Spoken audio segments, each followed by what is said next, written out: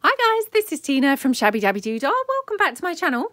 Oh, so I'm here with a massive haul video. I have been super, super, super naughty and I've, yeah, treated myself to a ton of books here. I'm just going to move this one because it's my favourite that I've been wanting for a really long time. So I'm going to show you that one last. Um, yeah, I decided to just treat myself because felt like I hadn't really bought anything for a really long time and I just thought, oh, you know what? I'm going to, uh, yeah, going to treat myself. Sometimes we need a bit of retail therapy, don't we? You know, so yeah, that was, that was my, um, my excuse. So I came across this, um, uh, author here. Um, I don't know how you pronounce it. Ernest Nister is, I think, his name. Ernest Nister. And he does these books. And actually, I have got another one of these books that I've, you know, bought a while back and, you know, it's just been in my stash for a really long time. Um, now, again, I have to be honest, I probably wouldn't have ordered these tiny versions um, had I realised because actually, you know, these pull-out pictures might prove quite difficult to use. But having said that, you know, I'm sure that I will be able to use them. Um, but he does these absolutely beautiful kind of very Victorian um, you know, inspired images. And they're just so pretty, aren't they? So yeah, I got these couple, which are like these move-in pictures. And part of the reason why I got these, oh, I think that should be coming down rather than going up. Um, part of the reason why I got these actually was because a really long time ago, I made a journal using a pop-up book and actually pop-up books are really hard to find these days um, especially kind of vintage ones. And any that there are, they're really, really expensive. So I had hoped that these would be a bit more pop-uppy. pop-uppy. Um, they're not, to be honest. So they're not quite as pop-up as I'd hoped. Um, but they have got the odd, you know, pop-up picture like this. And the reason why I was hunting down the pop-up pictures was because when I did the pop-up um, journal before, it was awesome because, you know, although at first I thought, oh, how am I going to use a pop-up? Obviously you've got the pictures here and they are fussy cut out for you. So i mean it's like a really really um, brilliant way to be able to do things and not have to cut them. So i got those two. And then i got several others by him as well. So let me just sort them kind of so that i can show you all the ones that are by him because like i say i did actually get quite a few. So I got this one here, Playtime Surprises. So these are much bigger books, obviously, as you can see. Um, absolutely lovely books, these ones. And you pull these down. I've seen Eva at Bohemian Crafting. She does things like this quite often with a sort of pull down. So aren't they just gorgeous? Now, again, I'm not quite sure whether these are going to be that useful or not. Because obviously you've got kind of half the picture and half the picture, if you see what I mean. So it might be that I'm going to have to decide which side of the picture that I like or you know there might be some pictures where I could just use like a portion of the picture or something like that. But they've also got these gorgeous backgrounds as well. So um you know I think I will be able to definitely do things. And then on the facing pages they've got these lovely you know black and white kind of images as well. So there's going to be lots of different things that I'm going to be able to do with these books. And you know all the pictures are just beautiful aren't they? I mean look at how gorgeous that they are. So yeah, um, you know, I, like I say, not quite sure how I'm going to use these with these moving pictures. They may prove to be, you know, not as handy as I'd thought, but, um, or handy as I'd hoped. Because obviously when you order online, I mean, you know, you can't really see how the pictures are going to be. So, yeah, I mean, in hindsight, these are pro probably not ideal. But having said that, you know, like I say, I'm sure that I would be able to glue this down so that we just work with, you know, one or the other. And then hopefully it's going to be just fine. This one's slightly damaged actually, which is a bit of a shame. But, you know, again, if I'm pulling this apart, it's not really going to matter too much. So that's that one. And then this one here, this is what they've called a revolving picture book. So look at these. Aren't they just awesome? I mean, it goes completely, disappears, and then you pull this little lever around and the whole picture then just comes out. It's so clever, isn't it? And again, you've got these gorgeous drapes and things. And again, you've got the kind of black and white pictures to the side. Just beautiful books. So this one is called Magic Windows. And then again, same concept here with the sort of pull out like that. and again, I mean, they're just such pretty pictures. Absolutely lovely. Again, you've got the drapes. So all of them have the drapes and then the black and white images to the side. But yeah, I mean, they're just lovely, aren't they? Really, really, really pretty. So yeah, I think going to have fun with these, although, you know, like I say, I'm not entirely sure how I'm going to be using them yet. But, um, you know, when I come to cut the books up, which at the moment I'm like, oh, I don't know whether I'm going to bring myself to be able to cut the books up. This might be a scenario where I'm just going to have to hold them for a little while because, um, yeah, I'm not going to be able to bring myself to cut them up yet. But when I do, you know, we will perhaps find how these pictures are formed. I mean, if you kind of look under there, you can see a bit more. I mean, the pictures are intact under there. So it might be that I would just, you know, kind of glue them straight down like this and then you've got the whole picture then that you know could maybe cut it down or you know however I don't know yet like I say how I'm going to use them but very very pretty pictures. So and I got all of these books I got from Abe Books which I know that I've mentioned Abe Books before. Um so yeah that's where I got all of these from. And I've got this one which again is a moving pictures as they call it but this is this one was called, oh, this one was called Playtime Surprises. Sorry. I thought they were both called Moving Pictures. So this one, Moving Pictures, this one's going to be much more useful because this is a flip up where the pictures are completely in their entirety. So, you know, definitely not going to struggle to be able to use these. You've got, you know, the pictures complete on each page. And aren't they just so beautiful? I just love them. And again, you've got these gorgeous backgrounds and things like that. So yeah, I'm really going to enjoy using these. Like I say, my only problem is that actually hoarding these books for a while before I cut them up. And I must try and keep my rational mind of, you know, I can always buy another copy. You know, I don't need to hoard it. I can buy another one. Um, but, you know, sometimes rational thought doesn't come into it, does it? I mean, the fact that I even hoard digis that I can just go and print some more clearly rational thoughts just not there at all, is it? But yeah, absolutely gorgeous books. So that one.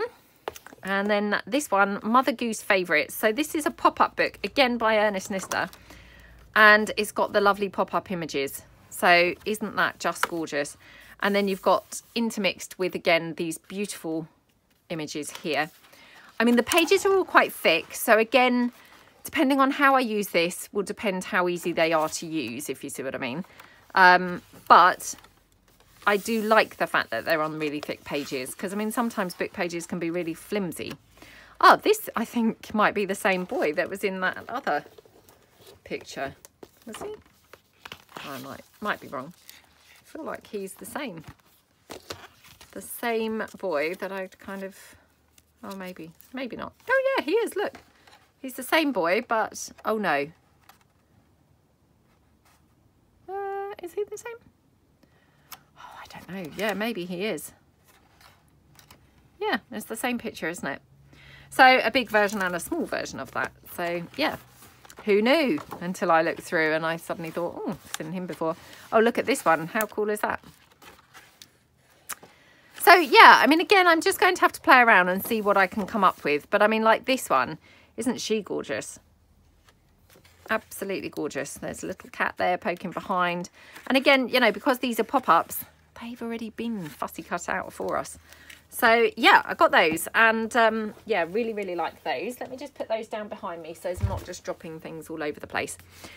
Right then i got these two. So i saw these. I think it was on junie desiree. And i know she calls herself jd I'm sure it was her who showed this book, England is a Garden. And I just thought, oh, what a lovely book. So I went on and had a look and managed to find it. And then when I was looking for it, I mean, look at this. Isn't that just so beautiful? And as I say, all of these were from Abe Books. But when I went on and had a look for this book, it came up also with the Lake District. The Lake District is a garden. So you've got England is a garden, the Lake District. And actually I noticed they had other ones. Devon is a garden and things like that. This one actually I thought was even nicer, to be honest, than the other one. Um, yeah, I don't know why, but the pictures in this one just seemed even prettier than the other one. So I really, really love this. I mean, look at that. How beautiful is that? Just gorgeous. I love the mix of the buildings with the flowers. I mean, obviously they're not all buildings. We've got sheep here and things, but I love the mix of the buildings with the flowers. I mean, look at these. Aren't they just beautiful? Absolutely beautiful. So, yeah, I mean, personally, my preference is this one. Like I say, the Lake District is a garden. Um, but equally, England is a garden is, you know, is also very, very pretty book. I mean, look at these little squirrels and things. I don't know why I prefer this one. Um, yeah, I don't really know. But the England is a garden, I don't know why I prefer the other one really, but I think maybe these pictures are more muted in colour. The Lake District one seems like they're slightly more vibrant flowers. Perhaps that's the difference. I don't know. I don't know. But yeah, for me, I, I sort of slightly prefer the other one. But, you know, no rhyme or reason for that really. But um, yeah, again, some of these flowers are quite large. So, you know, this maybe is not going to be the easiest book to use. Um, but, you know, I'm going to have fun, I think, trying to use it. And definitely not all the flowers are huge. You know, we've got smaller ones and obviously the buildings and things, they're not huge. So, well, some are, but, you know, not all of them. So, yeah, absolutely love those two. And they're by Catherine Hamilton. So that's those. Then I've got this one. Now, I've had this book before, Women of Flowers. Um, it's a tribute to Victorian women illustrations and it's by Jack Kramer. Um, like I say, I've actually had this book before. I just absolutely loved it so much. I mean, I very rarely buy books more than once, um, if I'm honest, you know, because I get quite bored. But this book is so gorgeous and you can just do so much with these illustrations and things that, to be honest, you know, you just couldn't really get bored of this book. It's got the most awesome things. And I love the... Um, the layout of it because you've got quite a few pages with this type of thing where you can just use these just you know like journaling cards exactly as they are. You've got quite a few pages with large ones. You've got these tiny ones that you could make like little art tiles and things. Beautiful beautiful colors because of course they're you know very you know or many different women's work. Um they're just gorgeous and you've also got the bonus of a few of these kinds of images which i love love love using these types of things on tags so it's a really nice book. Again, I got it from Abe Books. I can't remember how much it was, but I know that, I mean, all the books, they weren't any more than about £4-ish. So, um, you know, they weren't kind of extortionate or anything like that. Obviously, that's to the UK. I don't know whether Abe Books shipped to the US or anything, or, you know, anywhere else in Europe or anything. I don't know. Um, and then I got this one, the Fantastic Fairy Tale Pop-Up Book. Whoops which for some reason it came with these little books as well, which obviously tuck into this little pocket. Um, yeah, I mean, they're quite cute. Again, you know, they might not be that usable, but I mean, I might just give these to my daughter or something. We'll see. Now, again, because I obviously couldn't see this book online, it was quite hard to kind of envisage how it was going to be. And yeah, I mean, the pop-up pieces, they are usable. Um, but they're probably not as many pop-up pages, if you see what I mean, as I would have liked. And they're all this kind of formation. Um, rather than a lot of pop-up books, you know, it's kind of all over, isn't it? Rather than just like all hidden inside. But having said that, inside here, there's actually, you know, a couple of extra bits, if you see what I mean. It's not very easy showing it, I do apologise. But you've got like the witch in there and you've got a girl um, oh she might not be a witch she might just be an old lady but um yeah and you've got the girl and things so you have got quite a few bits and you know i love this gingerbread house and things so that's that page then on this page you've got like the fairy tale castle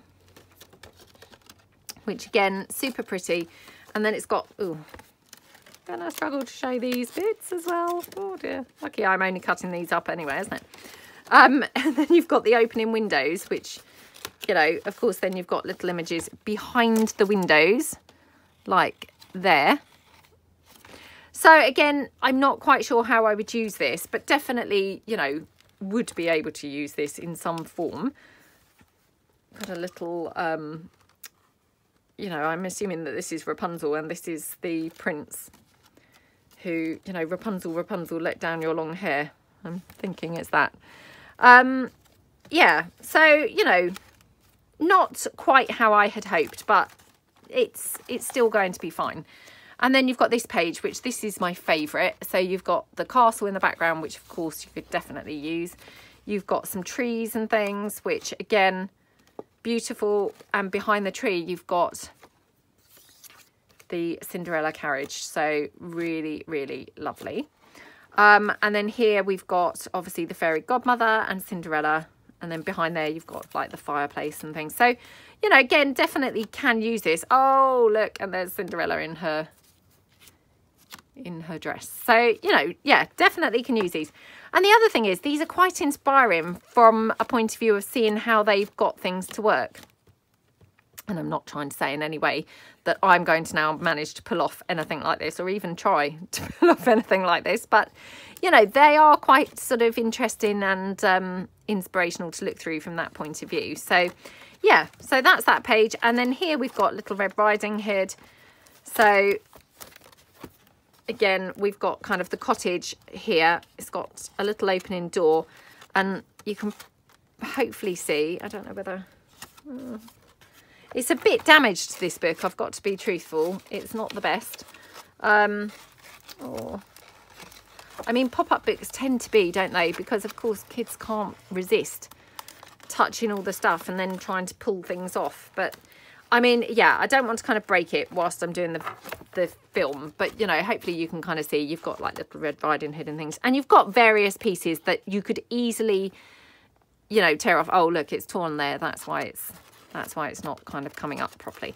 Um, but yeah, you've got various different pieces that you would be able to cut out and use definitely um, in a journal. So, you know, it's still quite a useful book. Um, it's just not quite as pop-uppy as I'd hoped, if you see what I mean. So that's that one. I'm just going to tuck these back in here for a minute. And then the final one, which now this is a book that I have wanted for ages and ages and ages. And I'd looked for it when I first saw it. I saw it in the library once and um, I came back and looked for it and I couldn't find it anywhere. This was a few years ago, about two years ago.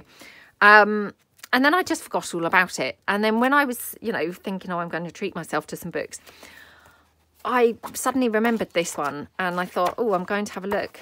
And lo and behold, I could find several, several copies of these.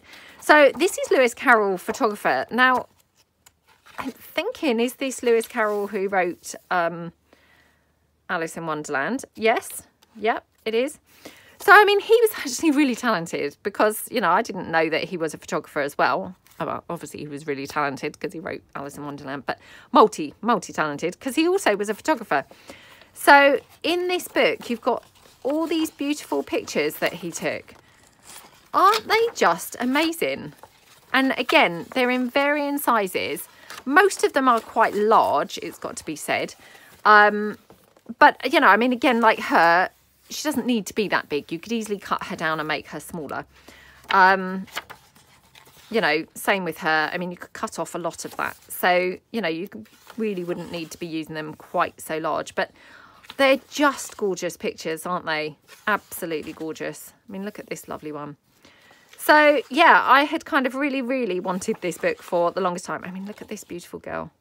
She's just gorgeous, isn't she? Yeah, I'd really wanted this book for a really long time and um, was so thrilled to, you know, actually manage to get a couple of copies. The one that I had seen in the library was a hardback. This is obviously a paperback. Um, you know, but I'm pretty sure it's it's an identical book. So, yeah, and again, you know, I didn't pay too, too much for it or anything like that. So, yeah, that's um, Lewis Carroll, Victorian photographer. Um, yeah. So, yeah, I really hope that you like my haul. I was very excited to come on and share with you all my gorgeous books that I've got. Um, and it's been a really long time since I've done a haul video, but I have got a few other things that I'm going to come on and show you in another haul video, hopefully not too too far in the distant future. Um, but yeah, I hope that you like them and maybe feel inspired to, you know, have a look for maybe similar books or, you know, pull out some books that maybe you've got. Um, you know, maybe grandchildren have got some pop-up books that you could use, things like that. Um, but yeah, hopefully kind of gives you, you know, some sort of inspiration. And I just love seeing what other people buying their haul videos and then go and hunt those same sort of similar books down. So uh, yeah, I hope that you like them. And thank you so much for joining me and see you guys soon. Thanks then. Bye.